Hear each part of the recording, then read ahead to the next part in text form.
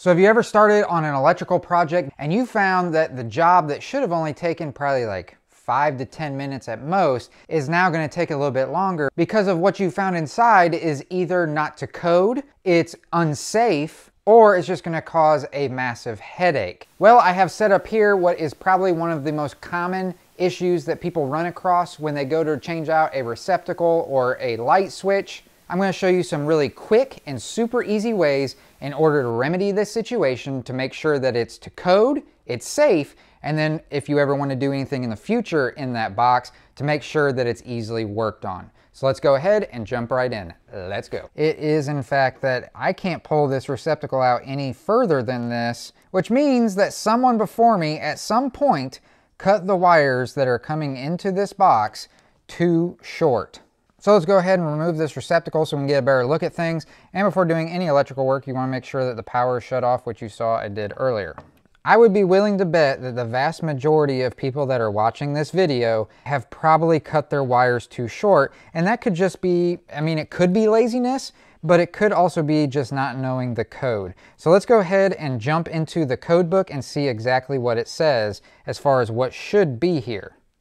So according to the NEC 300.14, which is titled Length of Free Conductors at Outlets, Junctions, and Switch Points, it states that at least 150 millimeters or 6 inches of free conductor measured from the point in the box where it emerges from its raceway or cable sheath shall be left at each outlet, junction, and switch point for splices or the connection of luminaries or devices. Where the opening to an outlet, junction, or switch point is less than 200 millimeters or 8 inches in any dimension, each conductor shall be long enough to extend at least 75 millimeters or 3 inches outside of the opening.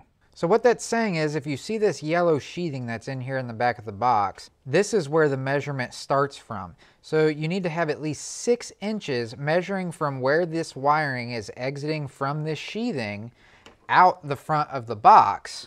And then in addition to that, the wiring needs to extend out past the edge of the box at least three inches. So from where the wiring exits the sheathing, we have approximately two and a half to three inches of wiring.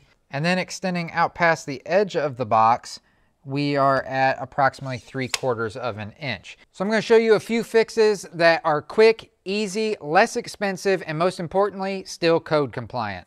So the first thing that I would wanna try is to see if I've got any slack in this wiring. Now, most of the time, when this wiring is installed, it is stapled in such a way that there won't be any slack. However, in other areas and certain countries, they will have what is called a service loop, which is a loop of wiring that's in behind the wall that you have slack basically that you can then pull from and then therefore extending your wires in the box but you can always give it a try, give it a little bit of tug, and maybe you can get at least that much more extra to come out before having to go to the next possible fix. All right, so since I was not able to pull much extra wiring out, I still am not code compliant here. So what I'm gonna have to do is I'm going to have to extend these wires. And I'm gonna show you a couple of different methods in order to do that. All right, so in order to make all this happen, I'm gonna need some pigtails. Now what I wanna do is I need to have my copper straight. They've got these hooks on them currently from the receptacle that was removed from here. So I'm just gonna remove each one of these hooks. Strip off some more insulation on each of the conductors. And I'm gonna start off by connecting the ground pigtail to the ground wire that's coming out of the box. And I put my ground wires up together and once those two grounds are together, then I will take my lineman pliers and I will pre-twist these wires. So then once I get done pre-twisting, I'll cut off the top of the wires and I'll put on top of it one of these ideal tan wire nuts.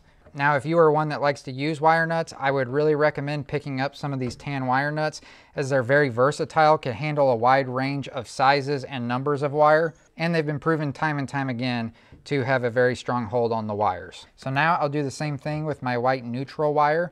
I'll take my white neutral wire pigtail, put it up next to the white neutral wire coming out of the box, pre-twist it together, and then put a wire nut in on top.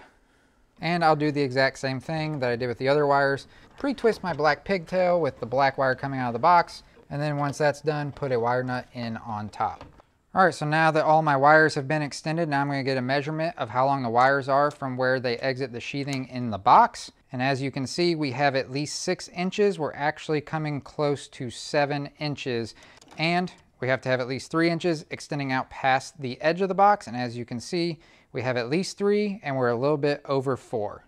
Now this is a great way of doing it, but I'm about to show you a way that I think might be a little bit better as it won't take up as much room in the box and won't require as much wire. Many of you are probably by now aware of this device right here. This is the Wago 221, but I've moved on to a different device that I think works a whole lot better in this particular circumstance. Hey, really quickly, if you're finding this information to be of shockingly good value, if you could do me a huge favor, hit that thumbs up button right down below. It really does help the video out to spread out to other people and hopefully be able to help them out with this as well. I really appreciate it. Let's get back into it. And that's this device right here.